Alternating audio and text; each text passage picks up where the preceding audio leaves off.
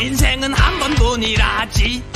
또 기회라는 것은 두 번 오지 않는데. 하지만 그런 말을 하는 이들 나하고 달라. 네이터가 없잖아. 이런 게 혹시 착각인진 몰라도 나 오늘 같은 날이 익숙해. 멋지고 끝내주는 꿈 꾸는 기분.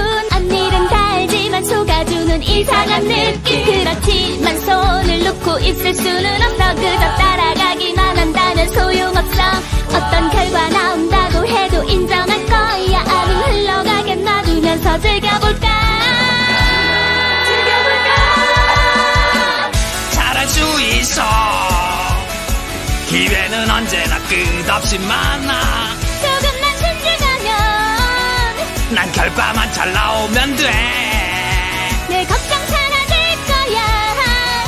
운명을 돌려 내 인생 바꿀 거야. 오늘 하는 일 잘못되면 바로 잡으면 돼. 내일 아침이면 다시 오는 오늘 하는 일 잘못되면 바로 잡으면 돼. 내일 아침이면 다시 오는 오늘 하는 일 잘못되면 바로 잡으면 돼. 내일 아침이면 다시 오는